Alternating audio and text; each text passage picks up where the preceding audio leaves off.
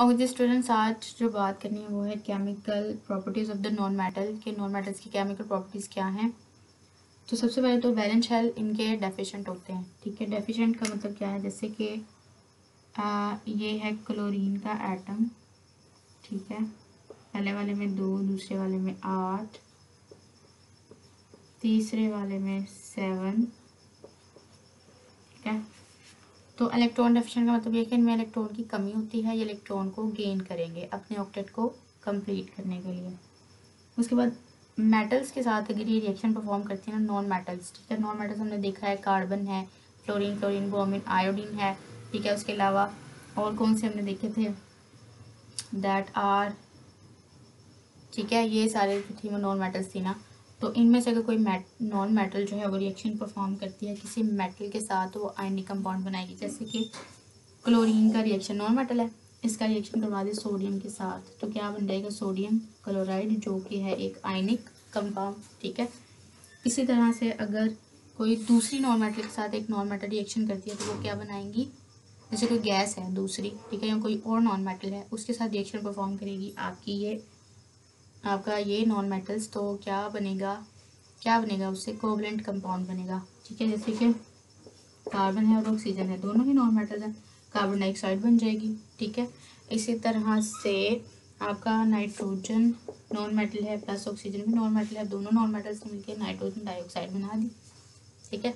तो non metal non metal के साथ मिलके कोवलेंट कंपाउंड बनाती हैं, लेकिन अगर किसी मेटल के साथ रिएक्शन करेंगी नॉन मेटल्स तो वो आयनिक कंपाउंड बनाएँगी। ठीक है?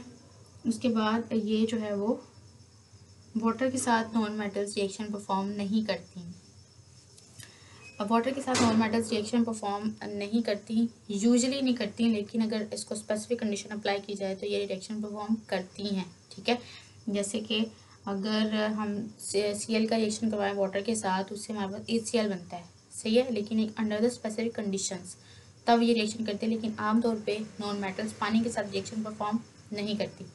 उसके बाद टेक्स्ट वन प्रॉपर्टी है don't react with the dilute acids dilute acids पहले से वीक एसिड होते हैं, ठीक है? और जो स्ट्रॉन्ग एसिड होता है, वो ज़्यादा से ज़्यादा प्रोटोन रिलीज़ करता है मतलब इलेक्ट्रॉन एक्सेप्टेंस करके प्रोटोन रिलीज़ करता है, ठीक है? लेकिन डाइल्यूट एसिड पहले से वीक है, ठीक है? वो बहुत कम जो है वो प्रोटोन रिलीज़ करेगा, ठीक है? तो ये किसी नॉन साथ रिएक्शन परफॉर्म कैसे करेगा? ठीक है जी? क्योंकि इसके पास अपने ही इलेक्ट्रॉन ये इतने ज़्यादा गेन नहीं कर पा रहा होगा कि ये इसी नॉन मेटल के साथ जाकर रिएक्शन करे, उसको इलेक्ट्रॉन डोनेट करे, ठीक है?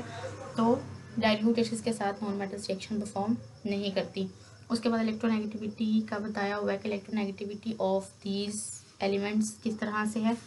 जैसे कि फोर्टीन फिफ्टीन सिक्सटीन सेवनटीन के हमने एलिमेंट्स देखे। तो सबसे ज़्यादा जो इलेक्ट्रोनेगेटिविटी है, ये ऑर्डर है, ठीक है? किस तरह से जो इलेक्ट्रोनेगेटिविटी डिक्रीजिंग ऑर्डर में आपको बताइए। फ्लोरीन की सबसे ज़्यादा ऑक्सीजन की उससे कम क्लोरीन की उससे कम ब्रोमीन की उससे कम सल्फ़र की उससे कम कार्बन की उसके, उससे कम आयोडीन की उससे कम और फास्फोरस की सबसे कम, ठीक है? तो ऑर्डर ऑफ़ इलेक्ट्रोनेगेटिविटी आपको पूछा जा सकता है पेपर में, ठीक है? तो ये आपको आना भी चाहिए, सही है?